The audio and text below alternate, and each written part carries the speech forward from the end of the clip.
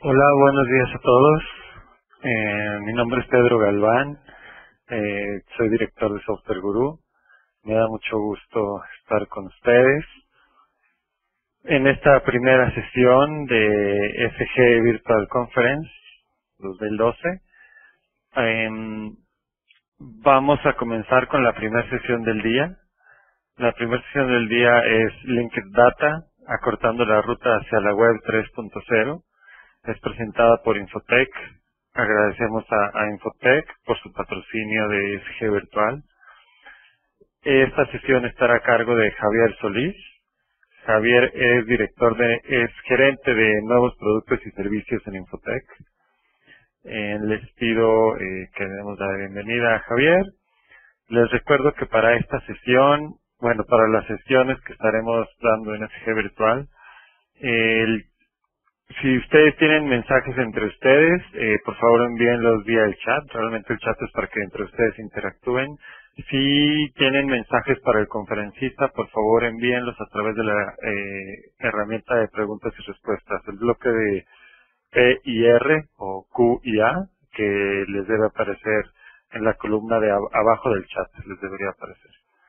Eh, bueno, pues sin más, Javier, muchas gracias y te dejo para que puedas realizar tu presentación. Sí, ¿qué tal? Muchas gracias, Pedro. Gracias por la, por la invitación y por la oportunidad de compartir esta información con todos. Eh, muchas gracias a todos. Buenos días. Eh, el tema de hoy es eh, Linked Data. Vamos a hablar, o Link Data. Vamos a hablar un poquito acerca de, de esto durante el transcurso de la presentación. Eh, la agenda muy rápidamente vamos a hablar acerca de eh, una lámina acerca de la evolución de la web, que es la semántica, la web semántica, lo que es Link Data. Eh, vamos a hacer una pequeña demo acerca de cómo podemos eh, empezar a consultar información utilizando este tipo de tecnología. Y al final dejamos una sesión de preguntas y respuestas eh, para poder aclararlas. Entonces, si ya, sin más preámbulo, si entramos a la presentación, bueno, antes que nada, ¿Quién es eh, Infotec? Infotec es un centro público de, investigación. Eh, siempre nos vemos como un, bicho raro. ¿Por qué? Porque somos un centro público, pero somos autosuficientes, es decir, no recibimos eh, ingresos directamente de, del gobierno o del presupuesto del gobierno, por lo que este, actuamos como una empresa privada, sin embargo tenemos todas las limitantes, ventajas y desventajas de, de una empresa pública. Somos uno de los 27 centros de investigación de CONACYT, pertenecemos al Consejo de Nacional de Ciencia y Tecnología y ofrecemos eh, eh, servicios desde el tema de infraestructura, desarrollo de aplicaciones, consultoría, desarrollamos nuevos productos con, eh, principalmente con una línea enfocada hacia el open source. Vamos a hablar un poquito más adelante acerca de algunos de los productos que, que manejamos. Bueno, pero esta es una breve descripción de, de, lo que es Infotec como centro de investigación, normalmente somos un centro público y este pasamos ya directamente al tema que nos, que nos trae en esta ocasión, que es eh, para poder entrar al, al tema del Link Data, primero tenemos que hacer referencia al contexto. ¿En dónde estamos parados? Estamos parados dentro del contexto de la web 3.0, contexto de lo que sería la, la, web semántica, y aquí quiero mostrarles una lámina que me parece bastante eh, ejemplificativa para poder mostrar lo que sería eh, las diferencias entre lo que ha sido la evolución de la web 1.0 hacia la 2.0. De la evolución de la web, esto seguramente ya lo han escuchado en muchas ocasiones, eh, sin embargo quiero contextualizar para poder entrar al tema. ¿no? Es un tema eh, bastante interesante, pero sí tenemos que tener las bases para poder eh, eh, para que se pueda transmitir mejor el concepto. Entonces, primero las diferencias, ¿no? La web 1.0, desde el punto de vista de quién posee la información, es personas conectadas a la web, es decir, teníamos gente que producía información, gente que consume la información, solo lectura. En la web 2.0 tenemos ya gente que, que produce y que consume, pero también al mismo tiempo la gente que consume también se convierte en productor y la gente que produce en, en, consumidor. Entonces al final lo que tenemos es un tema muy interesante donde podemos leer y escribir en la web, podemos también tener relaciones o compartir información, eh, información personal, en la parte de las redes sociales, es un tema muy importante en lo que sería la web 2.0. En la lámina podemos apreciar ahí las relaciones que hay entre los documentos, entre las personas de lectura y escritura y también este, en donde ya dejamos a un lado quién produce y quién lee, sino a fin de cuentas todos colaboran para poder eh, modificar y crecer lo que sería la web. En la web 3.0, a diferencia de, de, los dos anteriores, eh, lo que estamos agregando aquí es la posibilidad de que las aplicaciones se conecten eh, en el mismo contexto que teníamos de Web 2.0, pero también para poder producir, para poder consumir información, desde luego para ayudar a eh, la generación de, de, conocimiento o de información dentro de la web. Entonces, el tema principal es cómo permitimos que las aplicaciones se monten también sobre esta misma web para estar generando información, para estar consumiendo información y apoyando a la búsqueda de esta información dentro de la web. Vamos a hablar un poquito más adelante, más claro, de este concepto. Para poder, ya entrando al tema de la web semántica, antes de poder llegar a, la definición de la web semántica, primero tenemos que hacer referencia muy, muy breve acerca de lo que es la semántica.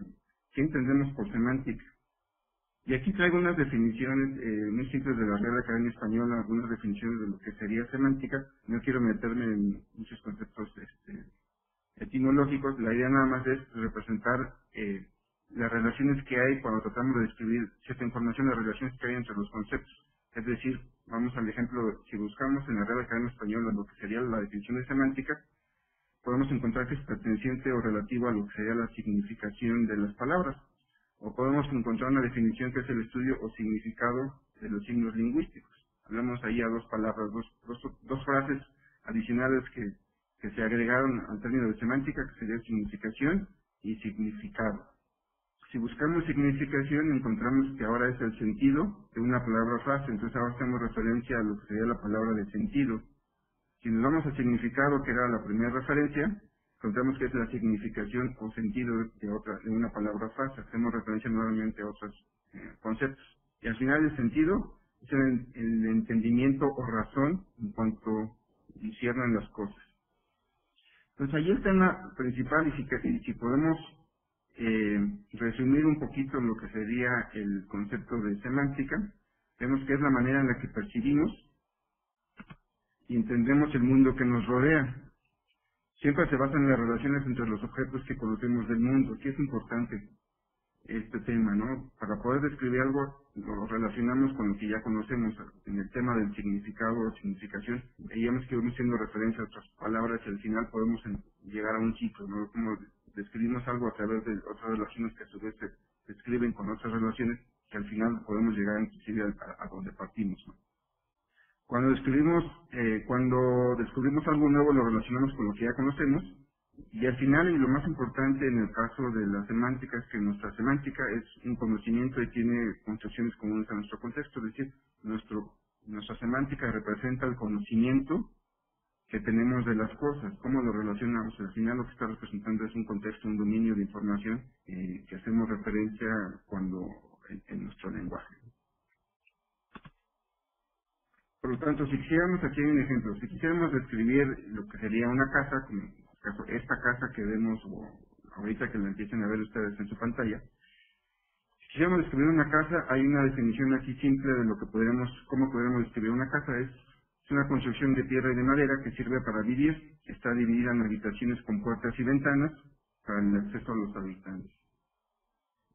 Por lo tanto, eh, si quisiéramos ver esta misma definición como un grafo conceptual en donde describimos estas mismas relaciones, lo que tenemos es un grafo como el que van a ver ahorita en unos momentos, es, tenemos en el centro lo que sería el concepto de casa, tenemos eh, que es una construcción, una relación hacia otro concepto que es construcción, se usa para vivir, está hecha de madera, está hecha de piedra, tiene habitaciones, tiene ventanas, tiene ventanas, tiene puertas, eh, y digo, y al final aquí lo que podemos ver es un grafo en donde podemos luego eh, derivar hacia habitación sobre una habitación. pues la habitación a su vez tiene eh, relaciones hacia, hacia otros conceptos como puede ser puerta y ventana. Lo vamos a ver más claro más adelante. Ya entrando al concepto propio de lo que sería la web semántica, tenemos que la, la web semántica, según la definición de Tim Berners-Lee, que es el creador de, de la web actual, o el padre de la web actual, es que es una web semántica es una red de datos que puede ser procesada directa o indirectamente por máquinas. Es el punto principal de la web semántica. La idea es cómo las máquinas nos ayudan a poder eh, eh, eh, procesar la información que actualmente se encuentra en la web. Recordemos que, que en la web, la web actual está o fue diseñada para poder compartir documentos documentos que sí tienen vínculos entre cada documento, pero fue principalmente hecha para que las personas pudieran descubrir información de la web. Un segundo, por favor.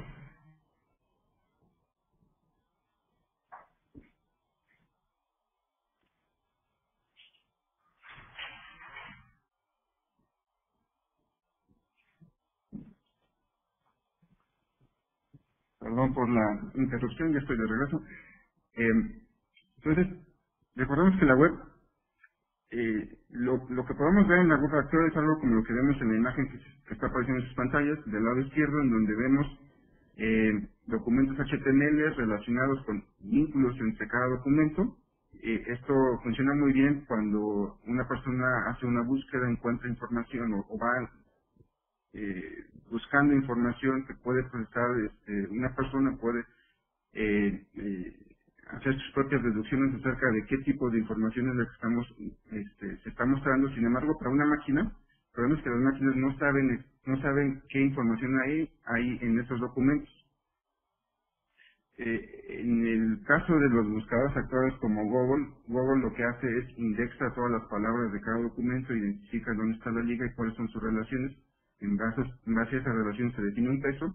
Sin embargo, eh, eh, es complicado que nos ayuden a poder hacer deducciones sobre esa información, si nos pueden indicar en, dónde, qué documento se encuentra esa palabra, pero si quisiéramos hacer una, alguna inferencia sobre esa información que nos ayude a hacer alguna deducción, que las máquinas utilicen su procesamiento para poder hacer deducciones sobre esa información, eso es algo que no es posible y es lo que queremos lograr con la web semántica, con la web 3.0, es cómo utilizamos las máquinas Utilizamos el poder, el poder de procesamiento de las máquinas para poder hacer inferencias sobre esa información.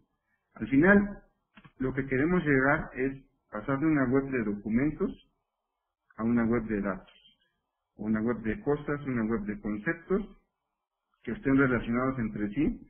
Y lo más importante, eh, aparte de que podamos describir eh, eh, cada, el, cada documento, en lugar de que sea un documento, sea un dato que tenga ciertas propiedades, ciertas propiedades que vamos a describir con algunos estándares que vamos a comentar más adelante.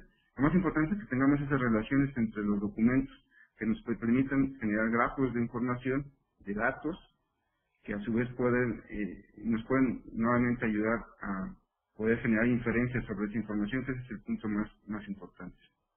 No va a ser de la información para poder construir nueva información.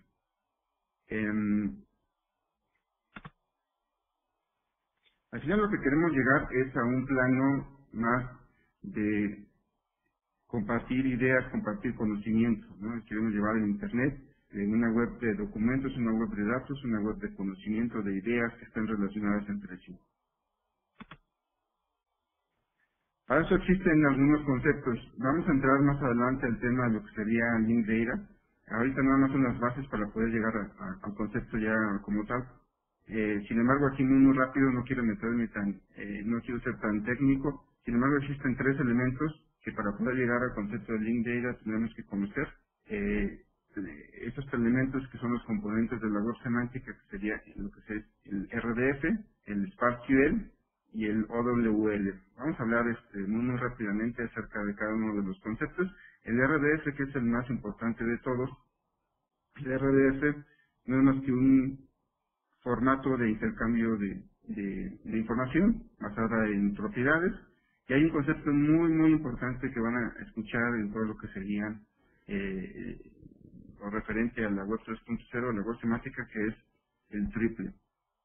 RDF y su eh, complemento con triple. Triple es una relación eh, entre tres elementos, lo que sería un sujeto, una propiedad y un objeto, que es lo que define una, una, un recurso, una propiedad de un recurso. Si nos vamos al ejemplo de la casa, a la definición que teníamos de la casa, en donde teníamos que la casa está hecha de piedra, lo que vemos ahí es una construcción, lo que vemos que es que la casa es el sujeto, está hecha de la propiedad, y el valor u objeto es piedra, está hecha de madera, que es madera sería el objeto, y lo más importante es cómo segmentamos esa definición de propiedades, las llevamos a su mínima expresión, que es el concepto de un statement o triple, con esos tres elementos, y de ahí podemos empezar a describir todo lo que nos rodea basado en esas tres eh, componentes. Aquí lo más importante es eh, que en el caso de, digamos, de habitación, habitación puede funcionar como un objeto, cuando casa tiene habitación, pero habitación también puede funcionar como un sujeto en donde a su vez se describe que eh, tiene una puerta y tiene, o tiene puertas y tiene ventanas. Entonces, eh, tanto el sujeto como el objeto pueden ser eh, indistintos. Un objeto puede ser un sujeto y lo que nos ayuda es precisamente a generar esa red, ese árbol de información donde podemos empezar a hacer eh, inferencias.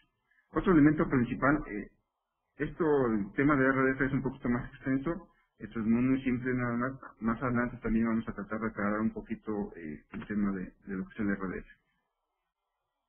Otro concepto muy importante en el tema del link data es el, concepto de SparkQL. SparkQL es un lenguaje de consulta basado en triples. La idea principal en el caso del RDF es cómo generamos o intercambiamos información basado en estos tres elementos, sujeto, propiedad, objeto, tres valores. Y el SparkQL no es otra cosa más que un lenguaje de consulta que nos ayuda a poder hacer búsquedas sobre eh, eh, triple store o sobre datasets, que es un concepto que también vamos a empezar a escuchar, sobre fuentes de datos que estén basadas en RDF. Entonces, eh, para poder ejemplificar un poquito más eh, el tema del SparkQL, Existe una organización que se llama Divipedia. Divipedia es, eh, es una organización que se está encargando de extraer eh, triples de lo que sería la Wikipedia. Todos seguramente han visto lo que serían los infobox, que son las cajitas del lado superior derecho, en donde hay cierta metadata en casi todas las páginas de, de la Wikipedia.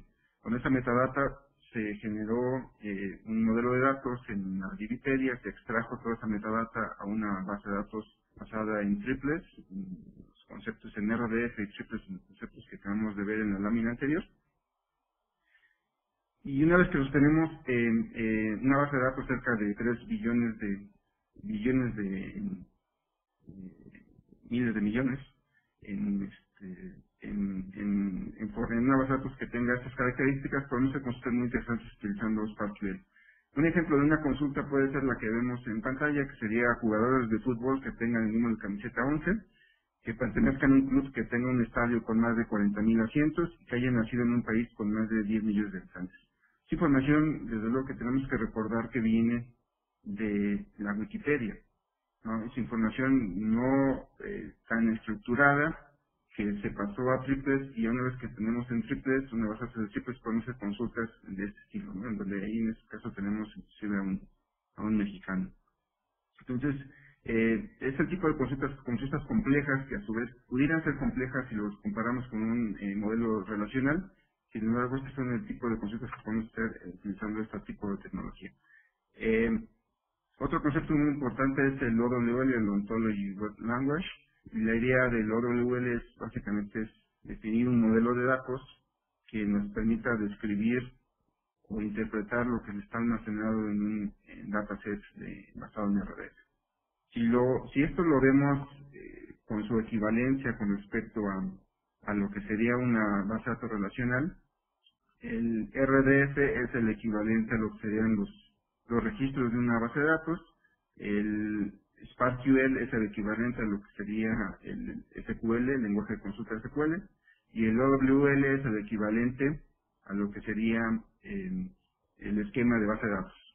Este es nuestro esquema, es un esquema que está basado en objetos 100%, eh, en donde podemos definir, aparte de la estructura, podemos definir ciertas reglas de inferencia, podemos definir restricciones.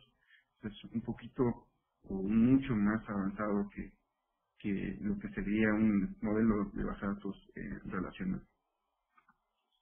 Por otro lado, ya digo, ya por último, para terminar con el tema de la web semántica y pasar ya al tema de, de linked data o de link data, eh, manejamos, eh, bueno, más bien la W3 está eh, proponiendo lo que sería la visión de la nueva, de la nueva, de, la nueva web, en donde del lado izquierdo podemos ver lo que sería la web inicial, donde teníamos los HTML, los URLs, HTTP, la, sobre Internet, y del lado derecho vemos lo que es la visión todos los componentes que se está proponiendo que, para la nueva eh, versión de la web, en donde tenemos eh, ciertas verticales y horizontales. En la parte horizontal, en la parte inferior, tenemos eh, el XML Infoset gráficos RDF, los grafos RDF son en la base de lo que sería la nueva web. Tenemos en el siguiente nivel lo que sería el RDF y XML y SparkQL. Y tenemos líneas verticales desde luego el tema de aplicaciones web, toda la parte de CSS es lo que ya hemos venido manejando, lo que hemos escuchado más recientemente. Toda la parte web móvil, voz, la parte web services y un punto muy importante que es tema de esta práctica es el tema de la web semántica. ¿no? Tenemos ahí el OWL como una de las principales líneas y algunas definiciones de eh, ontologías ya predefinidas para la web actual. Digo, para la web semántica. Entrando al tema ya de de Link Data. Entonces, ¿qué viene siendo o, cuál es la nueva propuesta para mejorar eh, la web semántica? El tema de la web semántica no es un tema nuevo, es un tema que ya ha venido desde ya cerca del 2001, empezamos con todo el concepto de topic maps, en el 2006 se empezó a hablar ya del 2005, empezamos ya con el tema de, de este, web semántica como tal, en el 2006 empezamos a definir algunos temas de link data, pero no es hasta realmente hasta el 2009 en donde ha tenido mucho más auge el concepto de link data. Aquí la, la idea principal del link data es cómo ayudamos a que la web semántica a, exponenciar el crecimiento de la web semántica. Y ahí hay algunos conceptos muy importantes que vamos a comentar eh, un poco más adelante. Sin embargo, la idea del link data es describe una forma de cómo exponer, compartir y conectar piezas de, datos, piezas de información sobre la web. Lo más importante es cómo tomamos la web actual y ayudamos a que a moverla hacia lo que sería o la visión de la web semántica, de cómo podemos utilizar las máquinas para procesar la información y obtener información o, generar información de forma más, más eficiente. Entonces, hay algunas reglas eh, que definió Tim Berners-Lee en 2009 en una presentación que se hizo acerca del tema de la web semántica, en donde definió cuatro eh, reglas básicas para poder enlazar datos, para poder generar información utilizando eh, el concepto del link data. Primera regla es utilizar UR, URIs, URI, URIs, URI, eh, para poder generar los nombres de los objetos. Aquí es muy importante la idea principal, cuando si recordamos el tema de, de los de los triples, eh, uno de los elementos de los triples, el, el, principal elemento era el sujeto. Sujeto que es básicamente es eh, eh, el objeto que queremos describir. Y aquí la primera regla es, tenemos que utilizar identificadores URLs como los de la web, para identificar ese objeto, es decir, cada persona, cada cosa, cada empresa, cada país o cada cualquier cosa que queramos describir y queramos subir a la web, tiene que tener un URL que pueda identificarlo. Eh, en la primera definición de la web semántica, eh, este era un tema principal, los, triples, el sujeto debería ser un, un URL o un URI, que identifica el elemento. Sin embargo, no era, aquí es un tema de los más importantes, no era obligatorio que ese URI fuera este, equivalente a, un URL que pudiéramos consultar por internet. Decían, simplemente tiene que ser un identificador. Sin embargo, no tiene que haber una correspondencia. En el caso de eh, los datos enlazados o link data, la idea es que sí, ese URL, que es la regla 2, ese URL debe de corresponder con un URL válido en la web que, eh, que yo pueda consultar.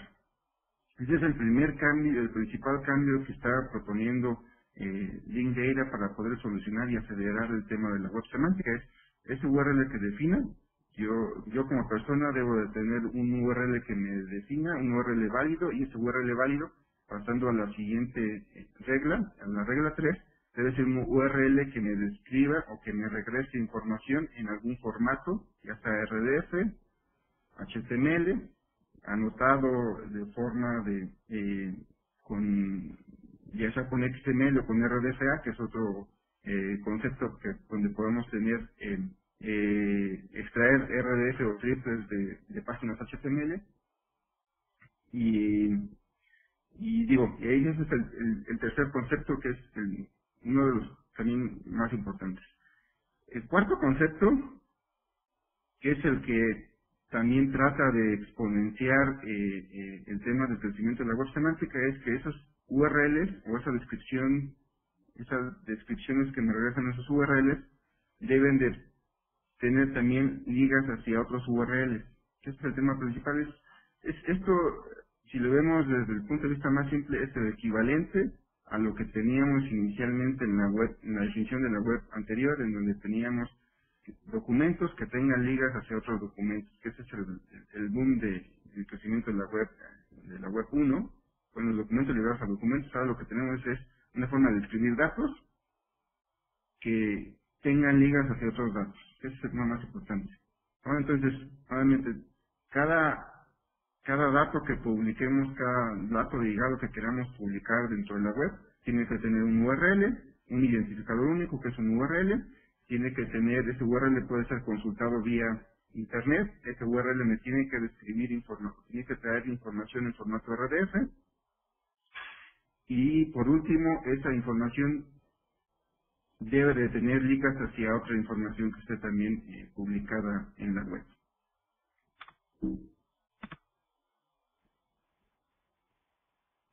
Hay otro tema interesante que, que, seguramente han escuchado más recientemente, que es el tema del Open Data.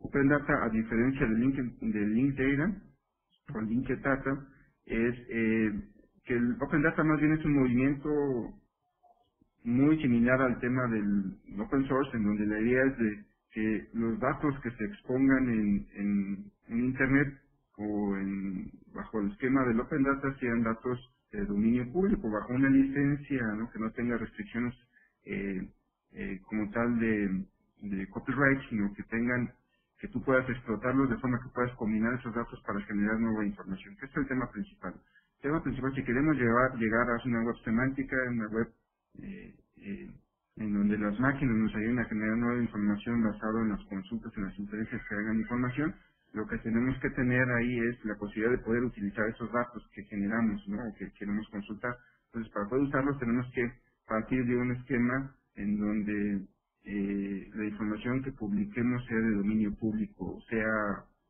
si no es dominio público, por lo menos tengamos licencia de poder utilizarla y combinarla con otra información.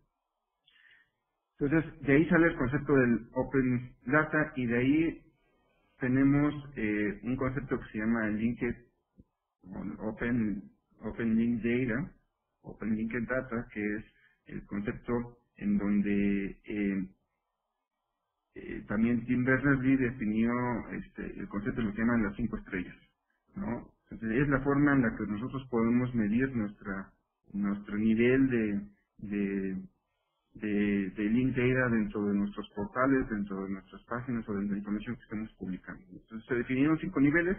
La primera estrella o el primer nivel de, de, del Open Link Data es ofrecer datos en algún formato, en el formato que queramos, pero que sean este, libres de utilizar. Ahí, no nos están obligando a que sean algún formato ni siquiera estándar, ni siquiera que esté estructurado, puede ser una imagen, un PDF, donde no necesariamente hay una definición como tal de, de ciertos atributos, simplemente es información que es de dominio público o al menos tiene, tenemos licencia o una licencia abierta para poder utilizarla, es el primer nivel, ¿no? Abrir nuestros datos a, que todo el mundo pueda utilizarlos. El segundo nivel es entregar los datos en alguna forma estructurada, es decir, ya que tengamos bien identificados cuáles son las propiedades, cuál es el título, cuál es la descripción, cuáles son sus propiedades, que podamos este, eh, exponerlas. Ya no nada más es que esté semiestructurada o información, documentos donde no tengamos referencias, sino también ya podemos extraer información o datos eh, precisos, metadatos de esa, de esa información que publiquemos que sería el segundo nivel eh, de la segunda estrella, o la, el nivel 2 de, de, estrellas. El nivel 3 de estrellas es igual al nivel anterior, sin embargo, tiene que ser un formato que sea no propietario, es decir, ya no tendríamos que utilizar un XLS o de Excel, sino tenemos que utilizar este, a lo mejor un XML, un RDF o en este caso un TSV, simplemente un archivo separado por, por comas, por tags, en donde eh, cualquier gente en cualquier formato, en cualquier máquina pueda llegar y reutilizar esa, esa, esa información. La cuarta estrella, que es donde viene lo interesante ya del data, es cómo agregamos identificadores únicos utilizando los URLs de web para poder identificar cada uno de los elementos que vamos a exponer en esta en esta eh, en, esta base de datos que estamos este, compartiendo. Entonces, nuevamente ahí es agregar los URLs, esos URLs deben de ser válidos este, para poder consultar esa información vía un URL. Y la quinta estrella y el último nivel de lo que sería el Open, Open Link Data es que esos datos a su vez tienen que estar vinculados con otros datos. Este es el nivel máximo. Yo, tengo, yo estoy exponiendo mis datos en algún formato, en este caso en RDF, los datos tienen un URL único que identifica cada elemento, cada instancia de mi base de datos. Y por último, la información tiene que estar ligada o tiene que tener referencias hacia otra información en la web. Entonces, son los cinco niveles que, que tenemos de, del Open Data. Al final, lo que, lo que podemos ver de todo esto es, no es algo nuevo, no es algo, bueno, nuevo desde 2009, pero es algo que ya actualmente está funcionando, está operando. Si vemos el crecimiento actual de lo que sería eh, las fuentes de datos, o en este caso serían los datasets, ese es un concepto que, que van a empezar a escuchar mucho, el concepto de datasets, pero más enfocado al tema de link data, es, es una fuente de información. No estamos hablando de, de una URL, sino estamos hablando de un conjunto de datos que sería, sería solamente una base de datos, una, una base de datos que puede contener N cantidad de millones o billones de triples. Entonces, en el caso de, si vemos el crecimiento de cómo ha ido evolucionando esto, en el 2007 teníamos cerca de 12 datasets, realmente muy pocos, es cuando iniciamos con el concepto de Big Data, no había mucha publicidad al tema, al respecto. En el 2008 crecimos a 45 datasets. En 2009, que fue cuando, cuando Tim Berners-Lee eh, hizo su conferencia y aclaró un poquito más el concepto de la importancia que tenía eh, el tema del link data y cómo compartir la información y también la idea de, utilizar los URLs como identificadores y URLs válidos que me describían información utilizando redes. La idea ahí es, eh, esto empezó a, exponenciarse. En el 2009 teníamos ya los este, 95 datasets, hay mucha información que está ligada. En el centro Casi siempre tenemos a la Wikipedia, que es uno de los datasets más grandes que hay, que viene de la Wikipedia. Sin embargo, ya hay muchas empresas que se empezaron a sumar, principalmente centros de investigación, este, algunos eh, eh, eh, em, fuentes de datos muy particulares, como puede ser a lo mejor los gobiernos de Estados Unidos con su DataGov, algunos museos que tienen información como el Smithsoniano, en el 2010 va y, hubo un incremento todavía mucho mayor en donde tenemos ya también muchas más organizaciones ya inclusive privadas que están empezando a subir su información. Ya tenemos ahí algunas empresas como como, como IBM, desde luego Google y Yahoo están metidas desde, desde un inicio este, tratando de, apoyar esta iniciativa y de sumar, y sumar información. Y por último, en 2010, en 2011, en donde ya el crecimiento también ha sido muy, grande. Aquí estamos hablando de tenemos cerca de 295 datasets de los principales datasets que hay y estamos hablando de cerca de 31 billones de triples, ¿no? que es un tema muy, muy importante. Comentaba mucha gente que para que la, la idea de, para que la visión de la web semántica se llegara, se llevara a la realidad, primero tendría que haber masa crítica. Aquí el tema principal es, actualmente ya hay una masa crítica, ya tenemos ahorita ligados, datos ligados, cerca de 31 billones de triples, ¿no? Billones hablamos de los billones de Estados Unidos, estamos hablando de 31 mil millones de triples, que es, que es una cantidad considerable para poder hacer, eh, eh, eh, extraer información y hacer inferencias sobre estos datos. ¿Ok? Por último, bueno, vamos a tratar de hacer eh, algunas consultas muy, muy rápido. Voy a compartirles eh, mi navegador.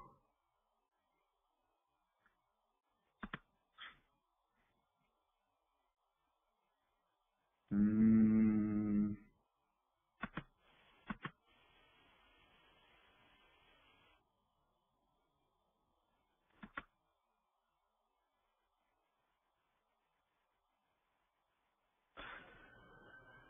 Ya ahí estamos viendo tu Chrome, Javier. Ok, perfecto. Un Chrome en blanco. Excelente. Vamos a compartir eh, eh,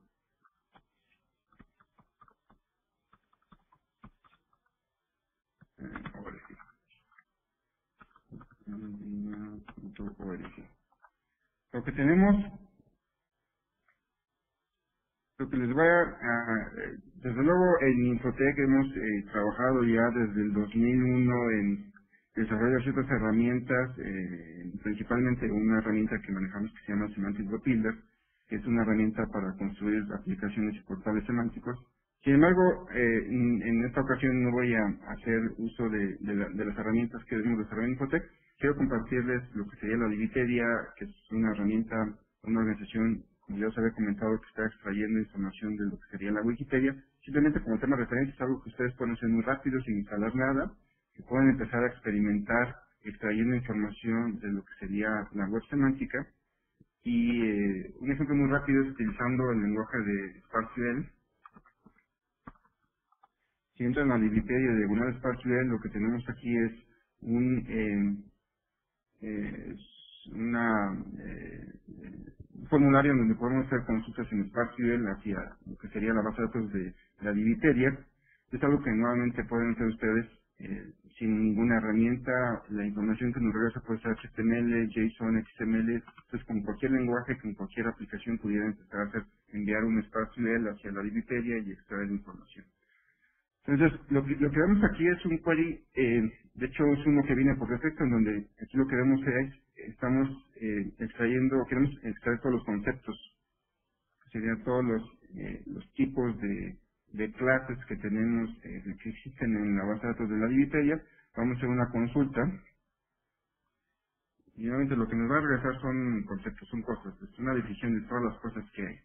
Tenemos, eh, sean animales, este, personas, eh, software, en fin, hay ciertos conceptos, hay una lista relativamente grande de, son cosas que hay actualmente en la Wikipedia. Y nosotros podemos poner, tomar un ejemplo de, algún ejemplo que puede ser en este caso montaña. Este es el identificador que define el concepto montaña, no es una clase que tenemos que llamar mountain. Y ahí es esta montaña, cómo podemos utilizarlo para poder luego hacer una consulta y extraer las instancias ya propiamente de una montaña. Entonces aquí lo que tenemos, vamos a hacer una consulta donde vamos a definir algo que se llama montaña. A lo mejor no, no sé si qué tanto me alcancen a ver, Pedro, este, si, si vaya rápido, si estén viendo la información que estoy, qué tanto está cambiando. Eh, sí se está apreciando, eh, está bien, la verdad es que está bastante responsiva la pantalla, entonces continúa así como estás. Ok, muy bien. Entonces, lo que tengo aquí es, em, voy a seleccionar una variable que se llama montaña, en donde voy a tener, aquí nuevamente es, es SparkQL, es un lenguaje de consulta basado en triples, entonces lo que tengo aquí básicamente es un triple. Voy a definir, si era mon- Montana, es una variable que estoy yo definiendo.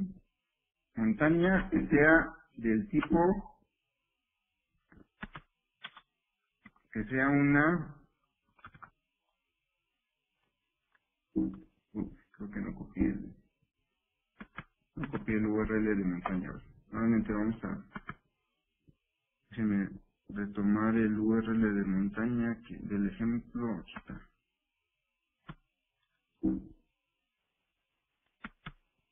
Es que me está quitando un poco este el el, el este WebEx. Ok, bueno, ya lo tomé. Entonces, vamos a hacer una consulta de lo que sería Montana.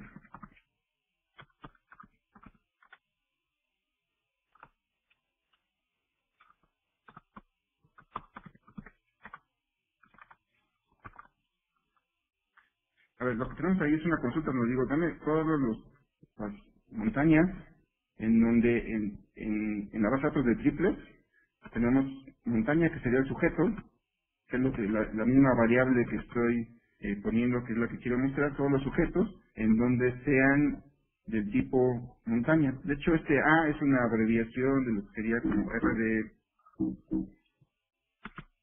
RDF, dos puntos type, que sería la, la abreviación que sea del tipo eh, montaña, pero bueno, la forma más simple es que sea una montaña. Aquí lo que estoy definiendo es, quiero extraer todo lo que es, todas las instancias de montaña que hay eh, en la base de Wikipedia, hago mi consulta, y aquí vamos a ver todas las instancias de montañas, ¿no? Y aquí podemos empezar a jugar un poquito ya con, con la información que, que se muestra aquí, digamos aquí vamos a buscar alguna, tenemos esta que es el, el identificador de la montaña del Cerro de la Silla, Monterrey, entonces podemos empezar a jugar con, eh, con esto. No sé si recuerden, eh, los que ya vieron la película de Wally, a mí me gustó mucho eh, eh, una parte en donde el capitán de la nave, cuando está en el espacio, em, empieza a investigar lo que sería eh, tierra, ¿no? Entonces hay un hay una parte en donde dice describe tierra, porque quería saber qué era lo que era el concepto de tierra y empezó a salir en cantidad de información. Hay algo muy similar en SparkQL que se llama precisamente describe, que es describe. Yo puedo definir que me describa, en este caso, lo que sería el Cerro de la Silla, el identificador del Cerro de la Silla de la Wikipedia. Entonces, es algo muy interesante, porque cuando decimos describe, lo que está haciendo aquí es una consulta y me trae toda la información. Ah, me lo trajo en triple, déjame traerlo en HTML. ¿Vente? Entonces me dice, describe el cerro de la silla y me debe de traer toda la información de el cerro de la silla. Me mandó un error, déjame checar que es WhatsApp. Creo que puse no, es HTML. Ahí está. Entonces, aquí lo que nuevamente le dije, describe cerro de la silla. Y aquí ya lo que me empieza a traer es información acerca de inicialmente eh, eh, los eh, algunos namespace prefijos que, que hacen referencia o de dónde está haciendo referencia el Cerro de la Silla. Tenemos eh, que el Cerro de la Silla es del tipo Montañas de México, es del tipo este, montaña, del tipo, en fin, algunos, algunos conceptos muy particulares, que son agrupaciones o categorías en donde cae directamente el Cerro de la Silla. Tenemos también que es equivalente a otros eh, eh, identificadores como, y esto es algo interesante porque es donde empezamos a hacer, donde empieza a, el link data a, a tomar fuerza, es cómo hacemos referencia, eh, algo que decía Tim Berners-Lee es, no podemos hacer que todos se pongan de acuerdo acerca de qué de cómo describir algo, ¿no? La idea es que el cerro de la silla puede haber una definición de la Wikipedia, puede haber una definición de, de otras fuentes de datos como las que tenemos aquí, que a lo mejor es N19ID, que es, si vemos de este lado, es um, del Geo, Geodata. Hola, Javier. Eh, oye, nada más, eh, en el chat están comentando algunas personas que están viendo esto desde proyector, que en el browser pues está muy chiquita la fuente, que si podrás darle un zoom un poquito para que los que están viendo esto desde un proyector puedan leer un poco mejor. Ok. no sé, creo que en Mac ahí puedes este, darle un zoom, ¿no? No sé si ahí cómo, pero perfecto, gracias. Entonces, aquí nuevamente lo que hicimos fue describir lo que sería el cerro de la silla. En el cerro de la silla tenemos eh, ciertos prefijos. Y comentar nuevamente el tema de... Eh, el tema principal que hay con la, con, LinkedIn, con la parte de LinkedIn o LinkedIn es cómo hacemos, eh, cómo ligamos conceptos entre diferentes eh, fuentes de datos. ¿no? Está el caso de, de lo que sería Linked, Linked Geodata o Linked Geodata que es otra fuente de datos, tenemos también GeoRCS, tenemos lo que es la Wikipedia, entonces hay diferentes fuentes que hacen referencia al mismo concepto, que en este caso sería eh, el, cerro de, este, de, la silla. De hecho, podemos... Eh, entonces, bueno, hay un concepto que se llama CIMAS, en OWL o WL CIMAS, que lo que hace es simplemente hacer referencia o hacer una liga a que este concepto eh, de Wikipedia también es el equivalente a otro que está en otro sitio, que también debe estar descrito en RDF, y de ahí hay principales cómo podemos empezar a, hacer brincos entre una fuente de datos a otra fuente de datos y estar extrayendo información y estar mezclando información. Entonces, eh, tenemos también aquí algún comentario en lo que es el cerro de la silla, tenemos ciertas etiquetas, la latitud, la longitud, el abstract, y en fin cierta información, imágenes este, de lo que sería eh, la descripción de, lo que sería Cerro de la Silla. Si vamos a alguna de las ligas que tenemos aquí, como el caso de, este, de, la 19 que es en Linked Data, vamos a ver si nos, si nos lleva la, la liga. No, no me dejó, vamos a ver si si esta liga nos lleva a algún lado. Y aquí me lo, lo que me va a llevar es a un documento, o un, en este caso el Freebase, y una liga directamente a lo que sería cerrar la silla con más información que también debe estar expresado en algún formato de RDF o RDFA. En este caso es una página HTML que seguramente tiene anotado internamente eh, utilizando RDFA, que es un mecanismo para poder eh, agregar metadata al HTML, metadata semántica es agregar triples que puedan ser consultados por un, buscador en, en, en SparkQL. Entonces, eh, otro ejemplo, digamos, en el caso de categoría, aquí tengo una categoría que es montañas de México, y aquí lo que puedo ver es, si yo voy a traerme todas las instancias de montañas de México, Vamos a ver si le doy clic, si, me trae el URL, para poder hacer una consulta.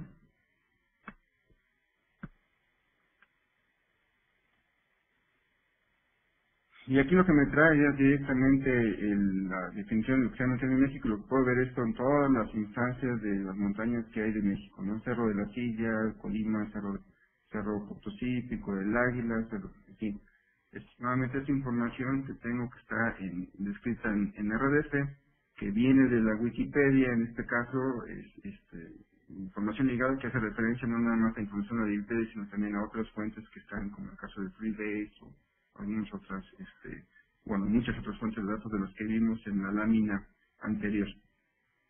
Que bueno, regresando a la presentación,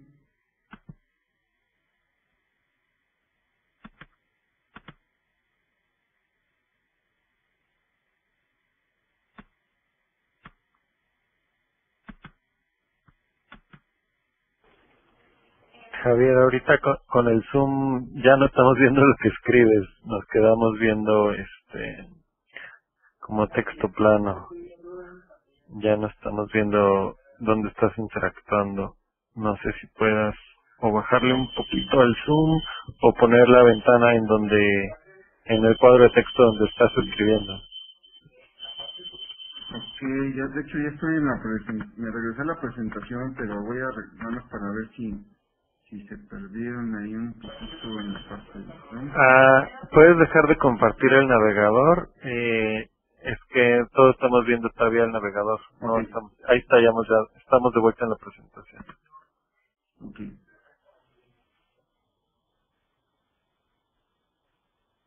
Ok, a ver si ya pueden ver la presentación. Bueno, ya nada más para terminar y pasar a la sesión de preguntas y respuestas. Eh, conclusión, un poquito de conclusión acerca del tema Link Data. El Link Data, al final lo que vino, desde hace dos años a la fecha vino a potenciar lo que es el crecimiento de, de la Web 3.0. Esto ya es una realidad, no es algo que, que veamos a futuro, sino ya es algo que está sucediendo, ya hay muchas fuentes de información, de hecho las principales fuentes de información ya se están moviendo, ya están disponibles en, formato de link data. Es algo que, que yo lo veo ahorita como una oportunidad para toda la gente más el tema de desarrollo en donde puede empezar ya a utilizar estas fuentes de información para generar nueva información, para generar aplicaciones que puedan extraer estos datos, aplicaciones muy útiles.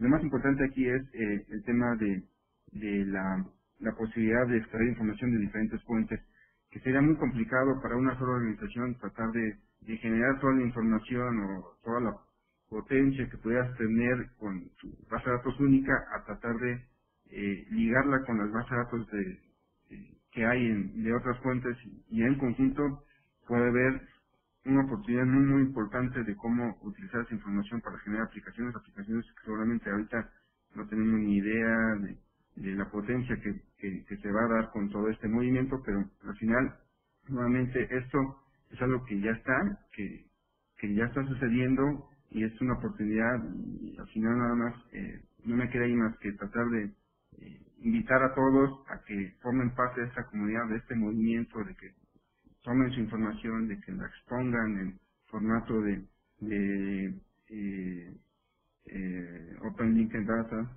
en donde puedan ustedes eh, anotar su información y ligarla con la información ya existente. Esto nuevamente, a diferencia de lo que sería la, la web 2.0, en donde si bien hay muchas fuentes de datos y donde cada una eh, tiene su, su propia eh, sus propias APIs para hacer las consultas, digamos aquí un ejemplo de eBay, de Amazon, de Yahoo, de, Twitter, hay muchas fuentes de datos en donde cada quien tiene su propia API. La idea de, de este movimiento es de que sea una sola fuente de, una sola forma de cómo exponemos la información, de cómo la consumimos, sin importar el origen de la información. Entonces esto nos abre la, la a las posibilidades a un mundo de, de nuevas aplicaciones que este que nuevamente es, es ya eh, la oportunidad que tenemos no tanto hacia la web 3.0 sino las aplicaciones que vamos a construir sobre la web 3.0 bueno, para concluir, no sé si, si haya preguntas. Voy a, déjenme checar. ¿Me salí? Ok, ya estoy por acá.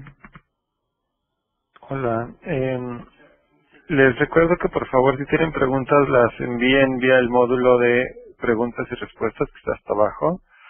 Eh, la mayoría de las preguntas que han hecho han sido si nos vas a compartir la presentación y cómo la van a hacer, eh, cómo la van a compartir. Ahí eh, creo que vía la, o no sé si pudieras comentarnos, supongo que la van a publicar en el sitio de Infotech. Eh, también la vamos a publicar en el sitio de SG Virtual, en la página de detalle de donde se inscribieron a esta sesión. Ahí también pondremos la referencia a, a, a donde puedan descargar la, esta presentación. ¿De acuerdo, Javier? Sí, claro. Eh, sí, no, de hecho, la, la digo, la presentación de ya la subí también ahorita por, por el sistema. Eh, imagino que por ahí deben de tener alguna liga donde puedan descargarla. Si no, como bien comentas, estará disponible en la página de Semantic Web Ahorita voy a poner la referencia dentro de la presentación. Eh, eh, no, de hecho, que no, no puedo ver las preguntas y la presentación al mismo tiempo. Pero ok, yo, yo este, vamos a hacer algo. Yo voy a leer las preguntas para que tú puedas atenderlas, ¿de acuerdo? Eh, nos pregunta Jacobo Hernández si SparkQL es un estándar y quién lo establece.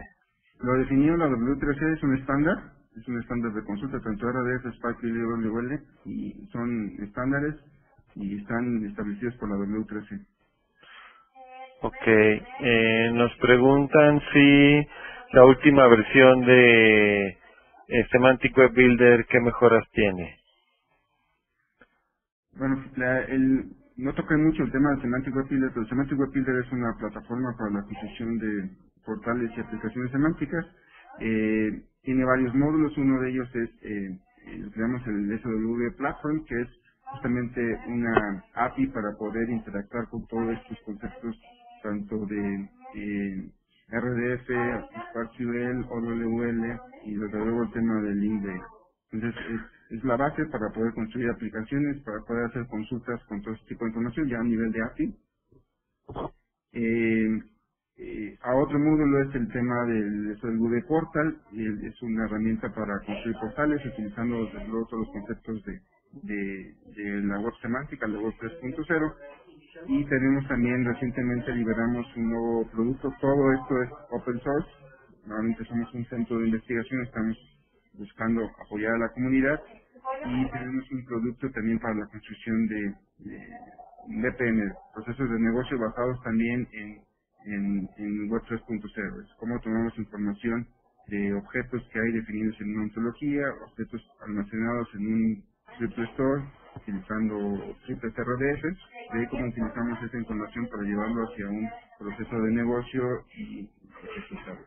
Entonces, digo, ese es otro tema que no nos, desde luego no nos daba tiempo de exponerlo en una sola sesión, eh, pero eh, toda la información está disponible en la página de Semantic Web Builder, www.semanticwebbuilder.org, y ahí pueden descargar la aplicación, hay manuales, está toda la información en línea, y este bueno, eso, son, eso es lo que tenemos. Seguimos trabajando en una versión para cloud, que de hecho ya la tenemos.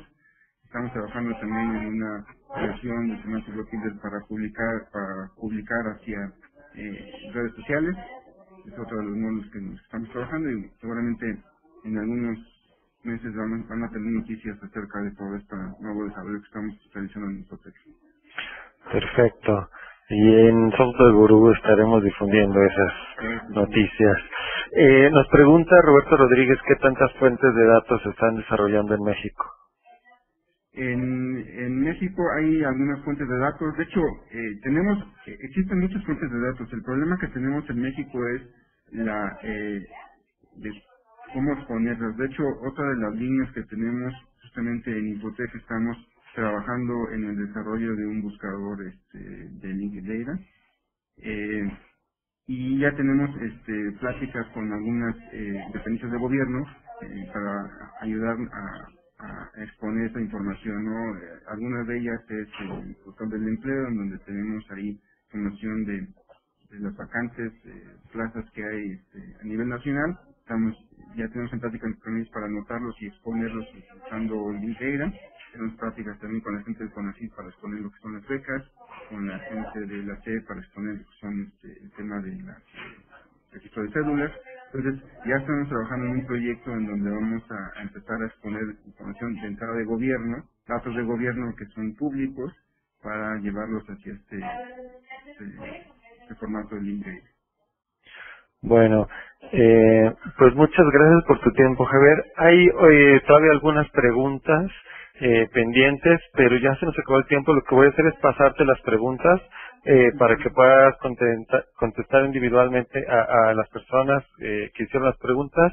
Y no sé si nos puedes regalar tu, tu mail o tu dato de contacto por si alguien quiere contactarte posteriormente. No sé si no está en la presentación, ¿verdad? Sí, de hecho, según yo, este, la, la compartí justamente en esa lámina. Si no la están viendo, a ver.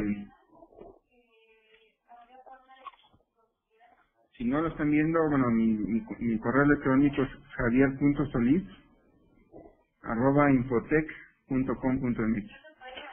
Perfecto. Déjalo aquí. Javier.solís arroba. Ya lo puse en el chat. Bueno, pues muchas gracias Javier, muchas gracias a todos. Los dejo porque ya es, falta un minuto para las 10 y seguimos con las sesiones simultáneas. Muchas gracias por su tiempo, muchas gracias Javier, muchas gracias por el patrocinio. Seguimos en contacto y continuamos en el resto de las sesiones. Gracias.